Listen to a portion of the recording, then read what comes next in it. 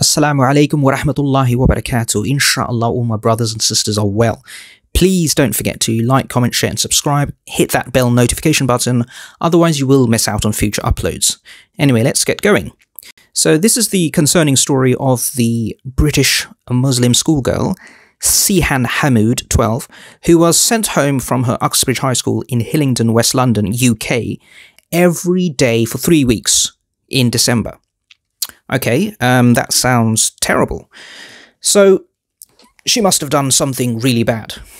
I'm thinking uh, along the lines of her disrupting class, maybe, wearing too much makeup, being in inappropriately sexualized school uniform. But no, it's because she refuses to wear a shorter skirt, and now her parents, Idris Hamud, 55, and Salma Yusuf, 44, face legal action over her unauthorized absences. So um, let me get this straight. They send her home every day for three weeks and tell her that until she complies, wears a shorter skirt, she can't come back. And then because she cannot comply, you know, wear a short skirt because of her religious beliefs, they put that down as an unauthorized absence and fine her for it. Yep, sounds about fair. So the school sent the parents a letter on 9th of December threatening action, which I'll abridge for you. It said, quote, Siham's absence is being recorded as unauthorized. Unauthorized absence may result in a fine being issued or legal action being taken against the adults. I must ask that she attends school in full school uniform with immediate effect. End quote. So, before anything else, it behoves us to look at this scandalous, morally depraved, too long skirt that will cause the moral collapse and degradation of Western civilization. What? Nah, that's just inappropriate. Who does she think she is? A supermodel? She should be on a catwalk, not at school wearing that. The school's clearly got a point. Now, Siham Hamud, only 12, has described being bullied for her religious beliefs and has said the following It makes me feel left out because I can't see my friends. They aren't accepting me for my religion, and that's wrong, she said. I feel confused and annoyed that I can't wear what I want for my religion. I hope they'll change their rules so that girls like me can wear skirts to school. End quote. Unbelievable.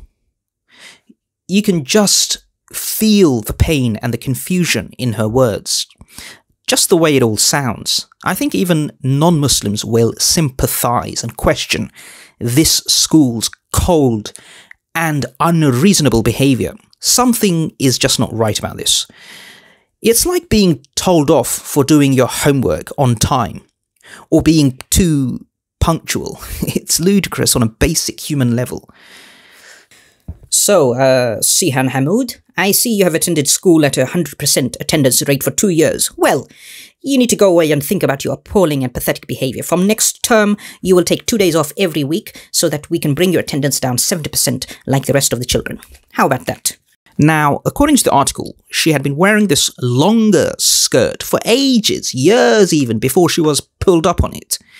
Siham's um, older sisters, Sumaya 19 and Ilham 17, they both also wore the longer skirts to school without any issues. Again, so why did they let her and her older sisters wear the longer skirt for so long without any problems? Now, I'm not one to be overly suspicious about something like this, but something definitely looks fishy here. Has something happened in the background that made the school take this aggressive approach against this particular young girl? Has there been some kind of a political maneuvering or pressure applied from certain parental, teaching, or governorship quarters? I think these are very fair questions. Now, to be fair, because Muslims are fair, just, and honourable people, on a technical level, yes, the school has every right to have its own school uniform policy and it ought to enforce it. But I think on a higher moral level, this girl is showing the school a better way of doing things. In every other count, moral, spiritual, ethical level, even educational, which is the entire point of schooling, I think she wins hands down. Because we have seen how discipline and uniform standards have plummeted in schools of late, this has coincided with a drop in standards relative to world in education. It is the norm for girls to wear excessive makeup and dress provocatively in British schools. Schools have become hypersexualized places where children don't just learn equations, but also a deranged, morally dysfunctional view of life. I feel the school ought to make allowances for this girl for religious purposes, and in fact go a step further by honouring her bold resistance to these warped and unfair rules and upgrade upgrade its entire uniform policy in line with what this this 12-year-old Siham Hamud is wearing. That's right. I believe that. I think this school will be taking a big step in the right direction by doing so. School discipline, grades, and the moral fabric of the learning environment at, the, at that school will drastically improve as a consequence, I believe.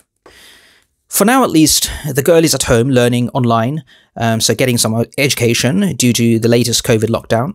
So let's hope and pray the school changes its mind and sees sense when schools return and this girl can resume her education without compromising on her faith and devotion to Allah subhanahu wa ta'ala.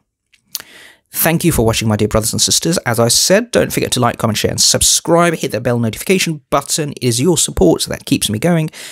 And assalamu alaikum wa rahmatullahi wa barakatuh. And oh yeah, don't forget, La ilaha illallah Muhammad Rasulullah.